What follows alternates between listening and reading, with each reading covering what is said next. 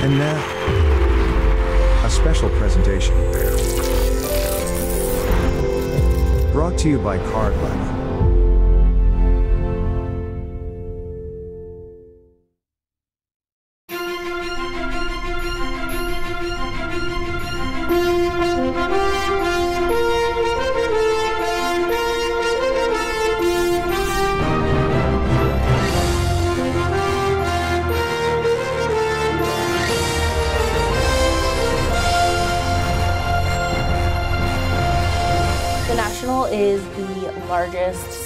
Convention in the country. It's absolutely an enormous event. I, I can't believe how many collectors, dealers, businesses, entrepreneurs are all gathered in one place at the same time. It's heaven on earth. So the first day of National Wednesday, traditionally for me, has kind of just been like a warm up, but it's just so crazy in the hobby that today was like a regular day of the show. The speakers overhead were like, guys, they're coming. Like, get ready. And everyone's like, we're still setting up because there's just so many people. People were running to submit their cards for grading with the grading companies. It was crazy. People were just so happy to be there. One guy just started clapping loudly, just a one-man applause. So it was it was a lot of people there. So Card Ladder has a small, humble booth. We're, we're there, we have a presence, we're, we're talking to people. We've actually met with a bunch of, of customers. They were just like really, really happy about everything. And, you know, because we, we, we see our side of it, we work on it and stuff, but to hear how they use it is cool. You know, just today, just hanging out at the Card Ladder booth. And you have to understand that the at the booth with Card Ladder is Grant Slayton, who's one of the great collectors in the hobby. And Grant has one of the most impressive display showcases here at the whole show. To me, you know, I haven't seen a better one yet, but I haven't seen all the display cases, but I love the stuff he collects. And if you're over there, that type of showcase attracts a lot of people.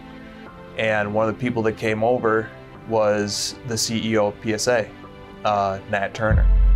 Hi, I'm Kristina. We haven't Hi, actually Nat. met. Nice to meet you. Yeah, Chris. Oh my God, yeah, you're both tall. What the hell? A little bit. Tall ladder. I saw this happening and I quickly finagled my way next to Nat Turner while he was talking to Grant Slayton. And I literally had a front row seat. Uh, that that Yeah. one, uh, that's for a Yeah. discussion. Yeah? Have you ever seen this one? I have, yeah. Number number seven. Yeah. Do you I've need seen it? I do. Yeah. What, what, what do you want for it? Nat is just like, he's just a big time collector. He's just like a, a collector at heart. He just loves cards. So like, if, if I can help find stuff for him, uh, I really enjoy doing that. I like bringing him cards that, that he's never seen before, he doesn't own. So, and Grant does the same thing. Grant's always got stuff that Nat really enjoys. All right. You got a deal. It's all yours. It's all yours, man. Get it, get it, get it, get it slapped. Okay. The fun thing about the show is you don't know what trades and what deals are going to go down until it starts to happen and the, the conversations start. So you just got to be ready and see what happens. And that's how it's done. There you go. Another thing you would have seen if you were at the Card Ladder booth is so many great people, shop owners, collectors, dealers, content creators come by and just say hello. Beautiful Jordans. Oh, what up, Chris? How you doing, buddy? People that I admire and respect. It's just so much fun. There was Jeremy Lee, there was Ben, Putnam Cards and Shay, their show, Hobby Update, they were there. There was Jake from 90s B-Ball Cards. Go nuts, man. All right.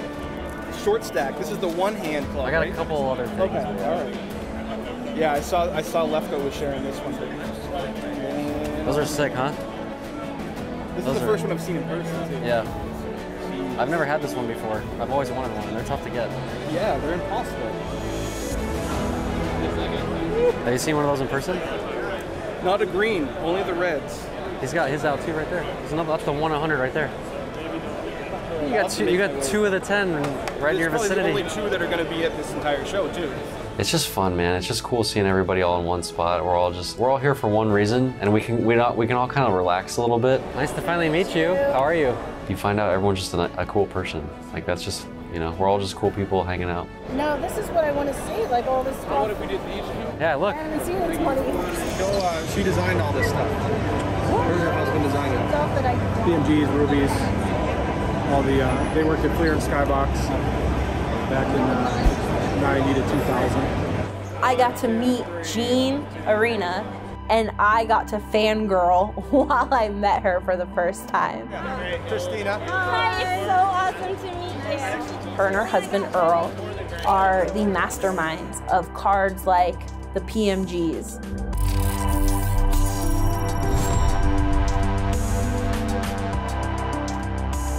So you have hobby celebrities and you have real world celebrities. And one of the real world celebrities that showed up to the National was Adam Lefkoe.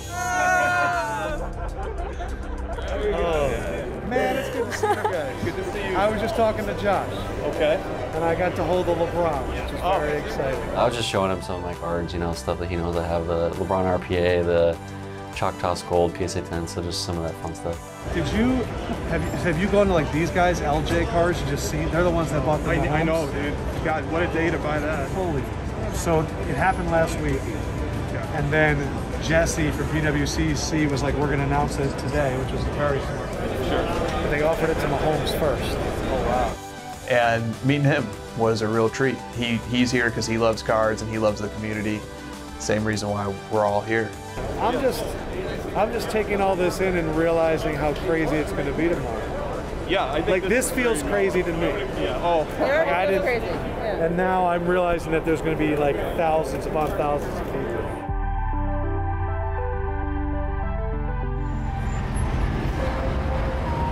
After the event, there was a private dinner put together, and the dinner was put together by Josh of Cardboard Chronicles and Card Ladder, uh, Grant, Grant Slayton, and Rodman, uh, Rodman PC.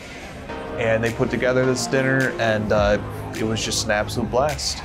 A lot of the biggest names in the hobby uh, happened to come by. Two years ago, Grant and I got this idea to do like an after show party early on in the week to kind of kick things off, welcome everybody, and we wanted to make it more exclusive, a little bit more private to you know some of the content creators we know, high-end collectors, people that we've been friends with in the hobby for a long time, and uh, we feel like the exclusivity of, of it makes it fun for everybody that gets to go and they feel like they're having a good time. And we had some big celebrities show up and it was just a lot of fun. I, I, we just we, we really want everyone to just kind of have fun and kind of kick off the week and it's just kind of like a, a meeting of the minds kind of thing. Like we all get in one room and hang out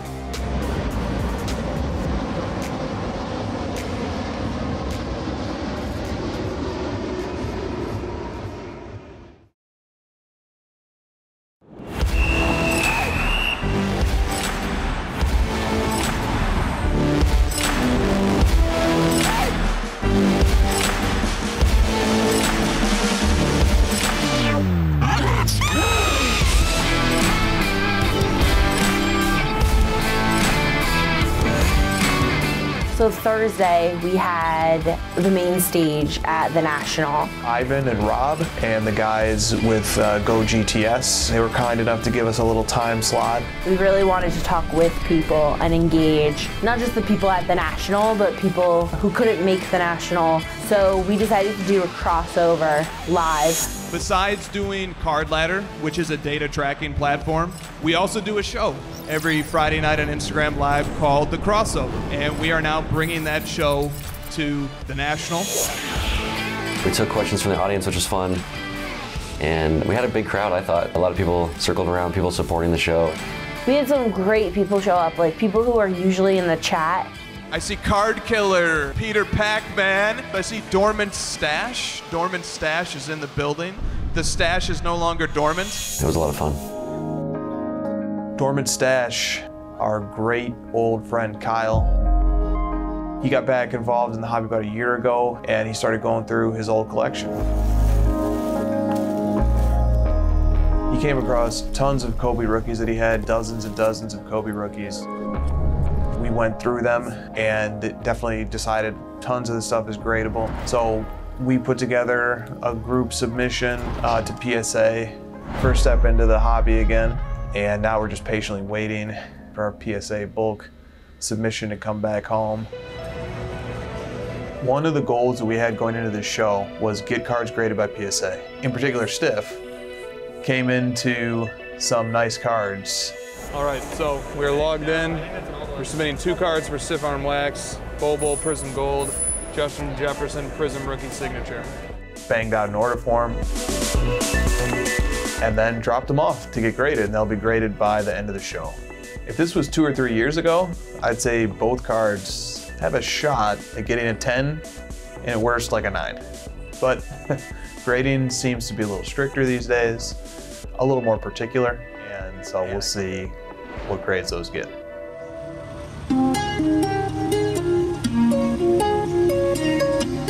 Thursday night, we were invited to an exclusive party at the Capital Grille, hosted by Ken Goldin and Goldin Auctions. The tease was that he's going to announce something big, and when we got there, it was, it was cocktails, people mingling, a lot of big names in the hobby. It was, it was a lot of fun. Here we have beautiful bottles of wine, all of which will be consumed by Chris, because he's an alcoholic.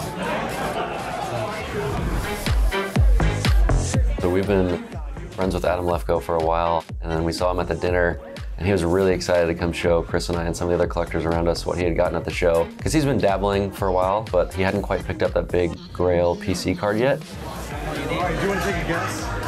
I'm really proud of you. We had no idea what to expect. His, he collects a wide range of stuff. We had no idea what it's going to be. I'll show you two at the same time. Get their reaction. Oh, yes. Dude, oh my gosh. Congrats. Oh my God. Look at his eyes. Look at his eyes. I wasn't expecting that.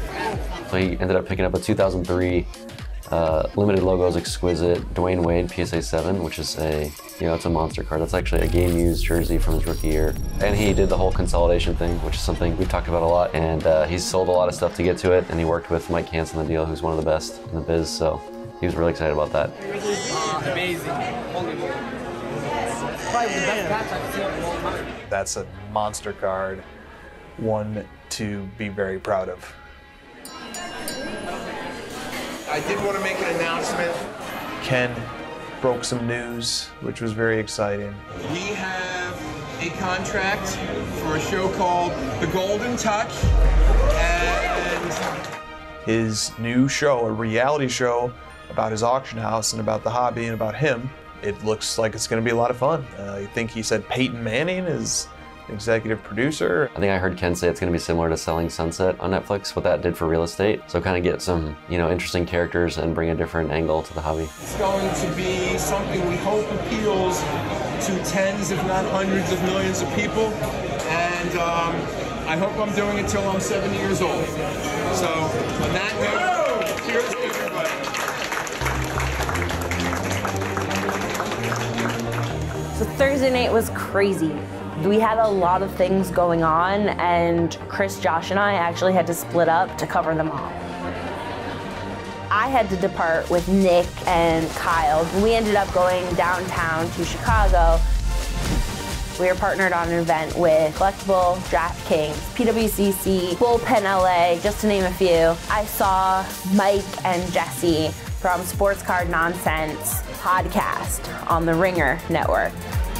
Yeah, Mike and Jesse with Sports Cards Nonsense have one of the most important shows in the entire hobby. They're huge personalities. It's a lot of fun to be around them, and they definitely bring a new, fresh energy to the hobby scene. But they're also really sharp guys, and Mike is extremely knowledgeable about cards in general, about the industry. We had a great time, a lot of laughs. It was really fun.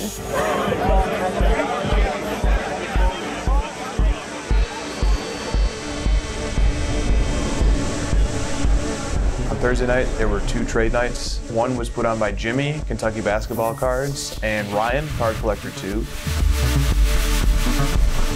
Yeah, I made the trip over to the, the trade night and hung out in the lobby. Just found a lot of great collectors hanging out in the lobby between the shows. And it looked like the Card Collector 2 show was massive.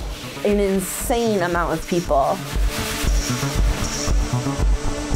I, I was at the one of his earlier ones in 2018. And so to go from what, where he was then to where he is now, it's, it's just impressive. It's really unbelievable. And the second trade night was also at the same venue. It was hosted by Joe, and it featured Project 70 artists who also, many of them worked on Top Project 2020, including Blake Jameson. Blake is near and dear to my heart because he was actually the inspiration for Kristina's Corner. So it was really great to meet Blake in person because I had talked to him on Zoom and interviewed him, but I had never met him in person. So another instance of why the National is so important to attend because it's like all of these connections you make throughout the year like crystallize and become fully formed friendships in person at the National. We all hung out, talked. It was a good time.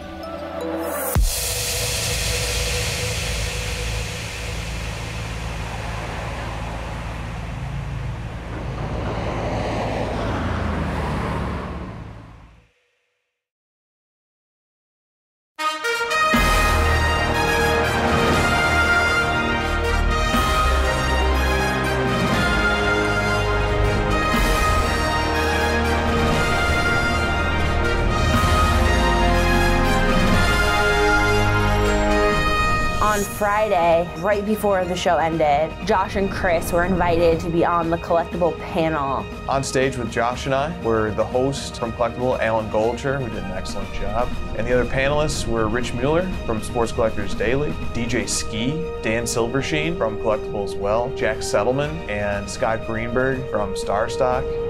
It was definitely a spectrum of perspectives that normally you wouldn't hear in the same hour at the same location. There were a lot of startups once the hobby started crushing it that saw a niche, that saw an opening, had a great idea, and went with it. And um, my friends um, Chris McGill and Josh Johnson uh, at Card Ladder, they're, they're a couple of those people. Give us like the Reader's Digest condensed version of what Card Ladder is about. Card Ladder.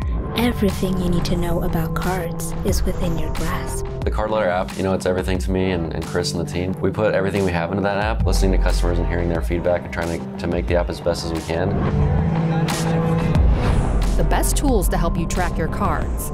Watch the trends, stay informed, compare cards, and track the growth of your personal collection, all in one simple and intuitive platform. Card Ladder is providing people with education, with information, with knowledge. And we do that just by organizing and presenting information in one place in a way that makes the hobby a little bit easier to navigate so that it's a little bit easier to learn about cards a little bit quicker. It's coming straight from us. You know, it's coming straight from a place of passion on our team. And we're just gonna keep rolling out features. We're gonna keep rolling out new cards. It's not gonna stop. It's just gonna keep getting better and better. And the pace at which we do things is gonna be much faster than anyone else. Chris McGill, Josh Johnson. And uh, we are collectible. Thank you. Enjoy the rest of your week. Great job, guys. After the panel was done, we got an email that Nick's PSA order popped. We're submitting two cards for Stiff Arm Wax, Bobo Prizm Gold, Justin Jefferson Prizm Rookie Signature. So we immediately booked it over to PSA. I think the results are going to be Bobo, Prizm Gold, PSA 8, Justin Jefferson, Prizm Rookie Autograph, PSA 10. The Bol Bol Gold is gonna be a 10. And the Jefferson is going to be an 8. Okay, so we got our grades back and haven't looked at them yet. So the Bol Bol is first. God damn. What do you think it is? Yeah, I think it is. It's a nine. That's good. The nine is good. Very good grade. Congrats. If that's a nine, I think that's gonna be a ten.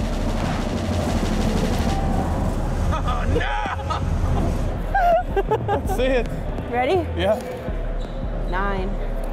That's fair, but but it's just funny because that the Bol Bol's been everywhere, and the Paninis that one never left the cage. But that's just the way it is. So after we got Nick's grading order back, we uh, headed back to our hotel. And then we're leaving the convention center and we run into G. And he was telling us about some major pickups that he made that day at the National. Went back to the lobby. We were hanging out, taking a little break before dinner. And we sat down, and he had a bunch of his cards from his collection with him. And we just went through them all. All right, let's start with 2019-20. Okay. So this would pair nicely with your Bol Bol Prizm Go. There you go. Yes. Do a one. Why do you have to laugh? Oh yeah, this is my 18, year. 19, you like that one? yeah, I mean, I do love it. It this. is a beautiful design. Love this. And he showed us the whole Prizm Gold run of Steph Curry, which he has. Dude, having the whole Prizm Gold run is just ridiculous. All of them are gem mints except for one. That's a BGS 9. Very, very impressive. His set of Curry Prizm Golds is phenomenal. G was actually one of the very first guys to really get on the Luka train hard. Oh! He showed us his Luka National Treasures RPA. So many people have touched my D this week. It's just insane. And so many more cards, just so many. Damn.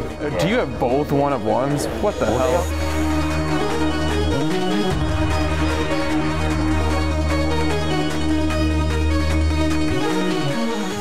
And the Kaboom, you know, I love Kabooms. Kaboom is amazing. A lot of dudes coming after me Wow. on this one. 2018. Lefkoe is trying to sweet talk me, and I'm just stonewalling at anyone who wants this card. It was awesome. Very, very impressive collection. Cool, man. Yeah. Yeah. No big deal. We can go through it. Cool. I like cards. Take one. I like the stack, right?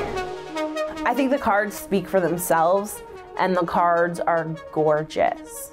Let this, let this young lad take a look And there was even this kid, Your next Hey, how are you? and he kept like moving his chair closer and closer so that he could see the cards. Durant's my favorite. Durant, oh! Kevin Durant throws it down. So was it Did like when these Durant guys? was on the Warriors where you started rooting for him, or was like, whoa, yeah, Yeah. yeah. Curry's like like one of my favorites as well. Okay, nice. Well, Actually, one of my favorite cards is his shoe card. This guy is something special. It is amazing what Steph Curry can do with a basketball. That could be the greatest move I've ever seen Many of us collected and or were fans of sports as kids.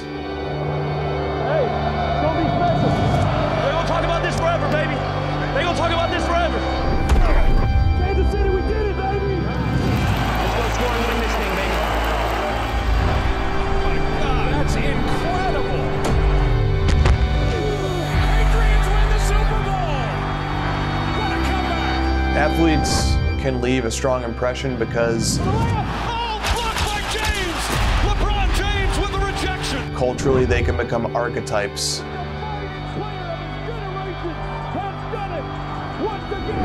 For a certain belief.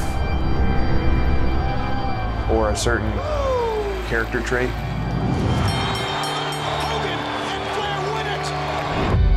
They symbolize something big that then becomes much bigger than the task that they're performing that transcends sports and represents something that we can identify with. I consider myself the luckiest man on the face of the earth. It's a great game. I feel it's an honor for me to be part of it.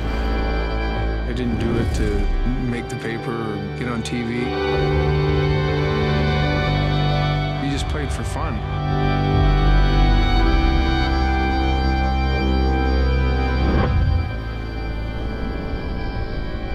He literally said to his dad, his dad was like, let's go.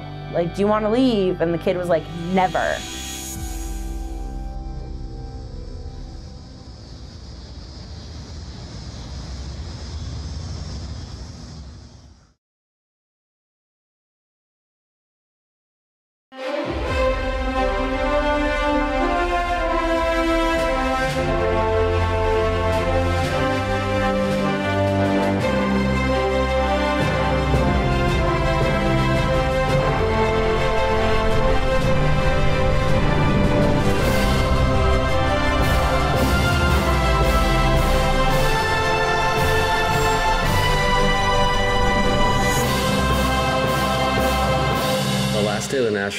I am physically exhausted, uh, but I have to I have to power through and, and try to see everyone that I wanted to see. I made a couple last minute runs to see some tables and people I wanted to meet.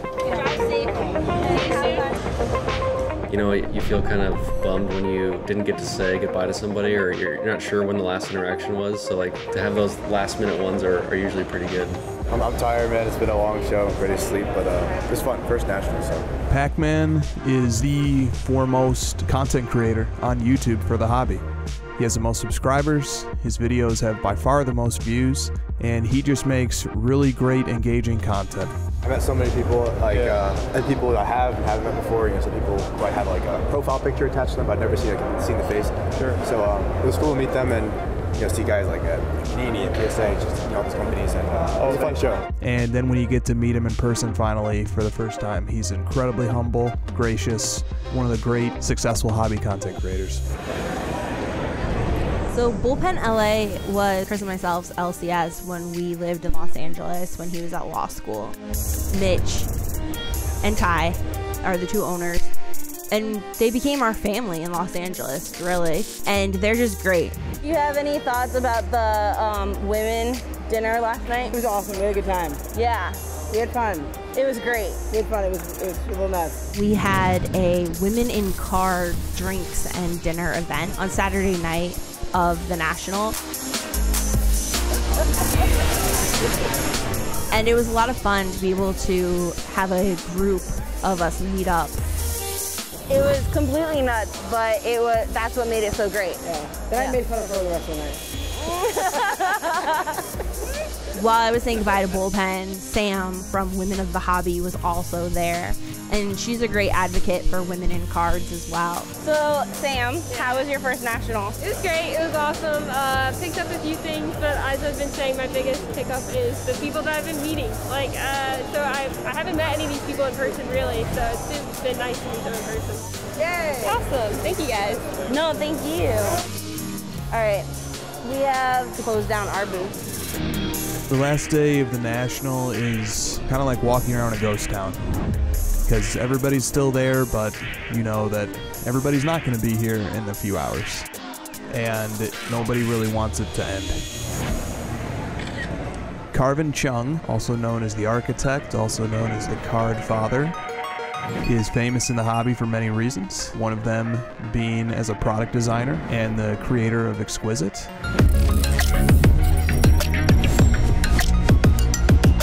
Karvin is a really great person and someone that I love sharing the hobby with, and we have a lot of great discussions. You know, that's a really great thing that we have in this hobby that you can't get in a lot of other places that we're able to actually speak face to face with people that we consider friends that we're so heavily involved in the creation of this stuff.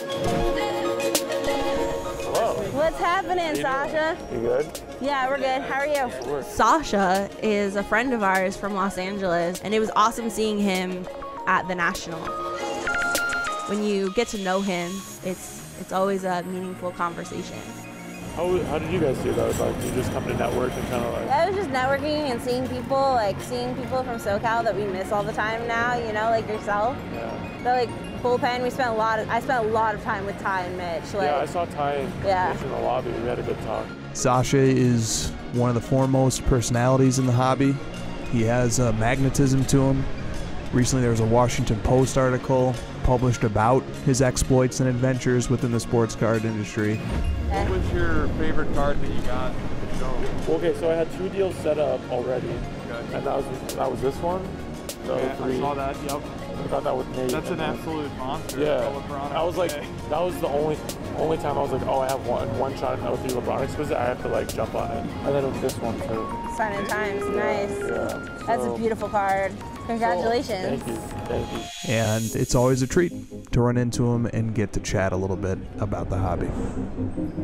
Leaving the national was really sad. Like I think everyone was kind of exhausted, especially from standing on concrete for 4 days, 5 days. But you just don't want to leave. It's kind of like the end of summer, like when you're a kid.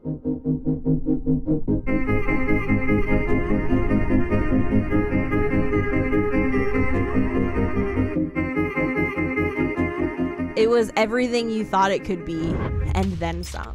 Last day of the National, here with the great Dr. James Beckett. Dr. James Beckett is the first head on the hobby Mount Rushmore.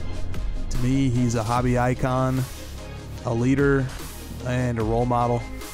I uh, really can't heap enough praise or respect or recognition um, on his name. Dr. Beckett, one question for you. Is this the greatest national of all time? Uh, let's see. If I'd say it would be the best one I've ever been to, I've enjoyed it more. Uh, the 91 National was spectacular, but I was kind of corporate in those days. Not as much fun. So I'm a free agent now. I get to roam around, look at cards, see old friends, meet new friends, stuff like that. It's terrific. Jim is the single most important historical figure in the hobby. The team here at Card Ladder looks up to him greatly, and we uh, are very grateful to have his praise and blessing on what we've built at Card Ladder, and we're extremely proud of that. Being able to follow in his footsteps, so to, uh, so to speak, is, is really important to us, and we take that very seriously. The hobby as it exists today would be nothing without Dr. Beckett. It doesn't need to get any better than this.